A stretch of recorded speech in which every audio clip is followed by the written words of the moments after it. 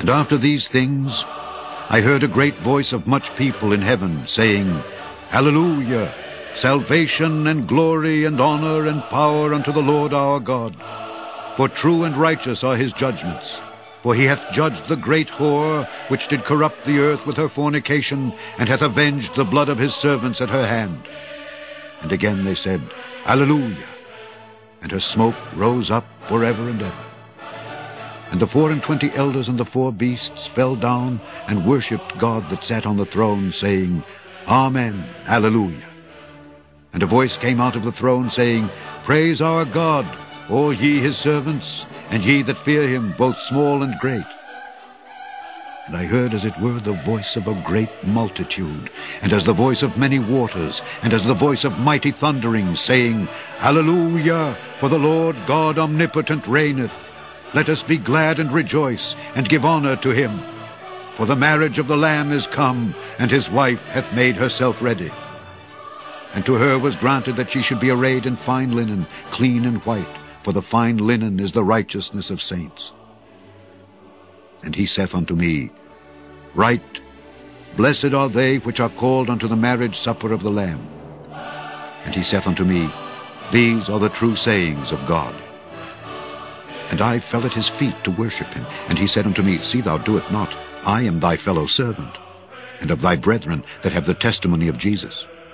Worship God, for the testimony of Jesus is the spirit of prophecy.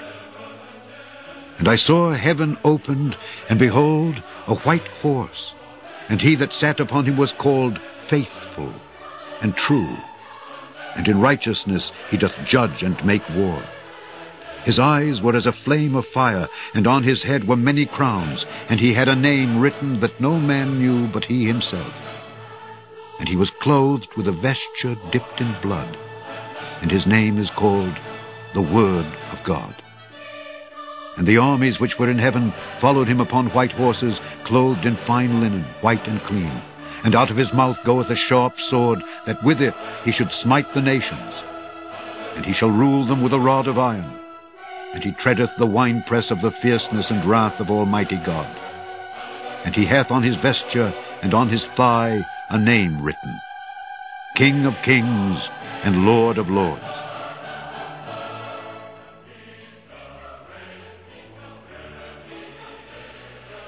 And behold, I come quickly. And my reward is with me, to give every man according as his work shall be. I am Alpha and Omega,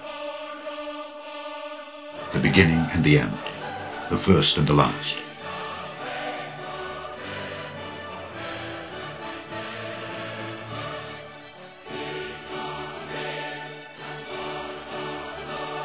I am the root and the offspring of David, and the bright and morning star.